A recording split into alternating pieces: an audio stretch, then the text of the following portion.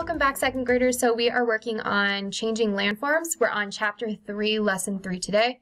We are going to be doing activities 1 and 2 and we are going to be skipping activity 3.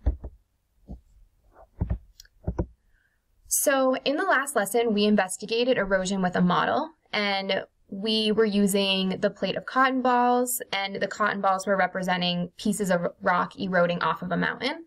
So what did we learn through our investigation of the mountain model? You guys can go ahead and pause this video and answer the question by writing it in your packet, talking to somebody at home, or thinking about it in your head. So when I think about how I would answer this question, um, something that I learned through the investigation of the mountain model was that small changes are hard to see. So when I was taking just one cotton ball or two cotton balls off of the plate, you couldn't really notice a huge change. Um, but something else that I did learn is that small changes can add up to a bigger change over time, and that is going to be an easier change to notice. So over time, if I had removed like 20 or 30 cotton balls from the plate, that would be a change that I would notice, but it just takes a bunch of small changes over time to really be able to notice it. So remember that reference books are used to find specific information. We'll use this book to learn more about the changes that happen in the real world. So in your packets, you have a worksheet that looks like this called Gathering Evidence of Change. And so I'm going to just read the directions to you really quickly. So first, we're going to use the Handbook of Land and Water to get evidence that many small changes can add up to a big change. We're going to choose two landforms from the book to read about, and then we're going to record those in the first column of the table below right here where it says name of landform. Then we're going to record information from the book in the second column right here. Okay, and we're going to be recording small changes and big changes with that landform. And then in the last column right here, you're going to circle yes or no to answer the question, would you be able to see a big change in one day? So we're going to be looking at page 11 in our book, so I'm going to read it really quickly. And this is focusing on beaches. Beaches are landforms made up of loose material, such as sand, gravel, rocks, or mud. We find beaches where land meets a body of water. Beaches are usually on low land. The edge of the land is often called the coast. So from pages 11 and 12, it is about beaches, but they do not have evidence about small changes leading up to a big change, so I know that I need to continue reading. Okay, so on the next page, page 13, the heading says beaches change slowly. So that gives me an idea that it's going to be explaining a little bit more about small changes leading up to a big change. So let's go ahead and read the page. Beaches form because of erosion. Rivers and streams carry bits of rock and sand down from mountains. The sand builds up slowly to form a beach. Erosion can also make beaches smaller. Waves hit the beach and carry, carry sand away. The diagram below shows how this happens. Waves hit a beach. The waves erode on the beach. Each wave carries a little bit of sand. As more and more waves carry sand away, the beach becomes smaller. The little changes made by each wave add up to a big change. So now we're going to look at page 14 in our books, and this page, the heading says, How Beaches Change Fast. So that, that gives me an idea about a way that a beach might change quickly, but this won't help us understand small changes adding up to big ones. So I already know I don't really need to read this page to answer the question in my um, chart. Okay, so now let's look back at page 13. So again, we know just from what I had read before that this is going to be the page I'm going to use when I'm filling out that chart in my packet because this is going to help me figure out how small changes can add up to a bigger change. So we've already looked at the diagram and the captions to find evidence, um, but when you guys are doing this on their own, it's also important not just to read the pages, but also to look at the pictures, look at the captions, and try and make sense of what's happening in those. Okay, so I'm going to make my screen smaller so I can show you how we're going to fill out this chart. So the first column is the name of the landform. So for our example we just did, I'm going to write beach because that is the landform that we are focusing on. So now we're going to think about how did the landform change?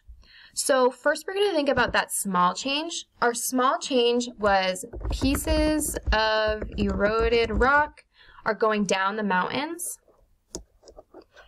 and the waves are carrying those pieces of rock to make like the sandy bottom.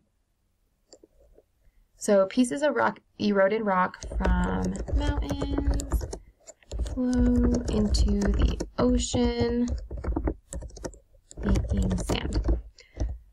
Okay, and our bigger change, and I'm just gonna move this up a little bit so you guys can see a little bit better. Maybe it won't let me, so we'll just keep it like that. Our big change is that over time, the ocean or the shore gets smaller. Okay. Um, the last thing is, would you be able to see this big change in one day? So when I'm thinking about these little pieces of rock, this is not going to happen one day. It's something where as the, the water is flowing, as the waves are going, um, that is what's creating the shore to get smaller. So it's going to take a long time. So I'm going to put no here. Okay. So now you guys are going to go to the YouTube video for the Handbook of Land and Water, and you are going to listen to the story again. You're going to choose two landforms to complete the worksheet in your packet, and then we will come back for the second activity after you guys have completed that. Hi guys, welcome back. So you guys should have just completed the table using the Handbook of Land and Water to help you answer about how small changes can lead up to a bigger change. So really quick, we're just going to discuss the following question. What evidence from the book supports the idea that small changes can add up to a big change that is easy to notice? So I want you to go ahead and pause this video and just answer this question using what you already know from the book. You can write it in your packet, talk to somebody at home, or think about it in your head. So when I'm thinking about the book, um, when I'm thinking about those small changes, I'm thinking about those tiny pieces of rock eroding from a mountain and flowing into the ocean. And then the waves are carrying these tiny pieces of rock to the shore. So I'm not going to notice a few extra pieces of sand on the shore. Um, but as this happens more and more, over time, more sand is going to get deposited onto the shore and then it's going to eventually make the shore smaller. So that is a bigger change that is more easy to notice. Okay, so now we're going to move on to activity two, which is writing about change. So in your packets, you have these two questions, and we're going to work on answering these questions based on what we've learned about change already. So let's read through the questions together. So question one says, when one small piece of rock erodes from a landform, would you notice a change to the landform? Why or why not?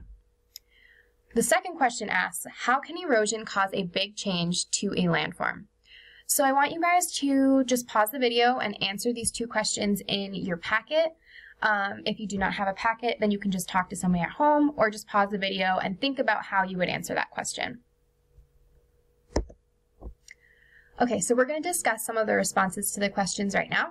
So question one, when one small piece of rock erodes from a landform, would you notice a change to the landform? Why or why not?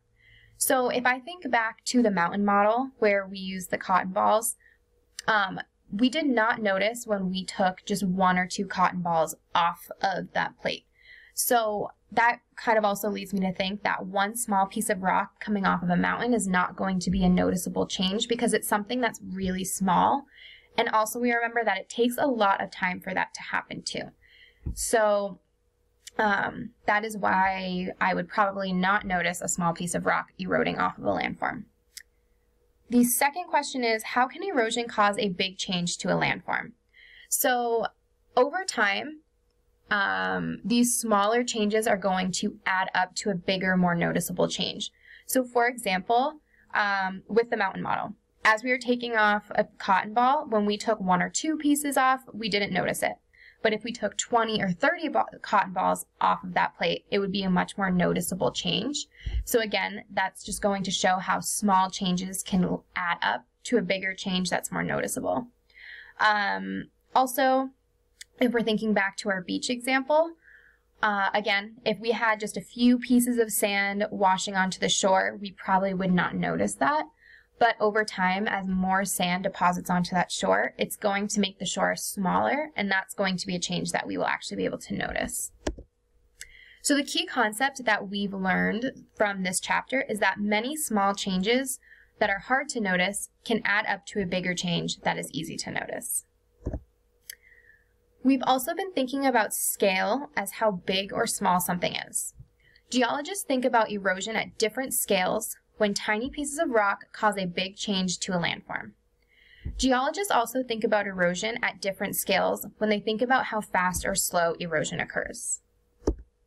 Okay, so that is the end of lesson three. So we will see you guys back for our very last lesson for this chapter.